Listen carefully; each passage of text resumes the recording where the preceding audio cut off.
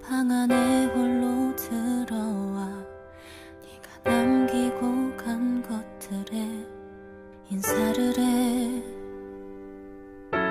소음이 가득한 공간이었었는데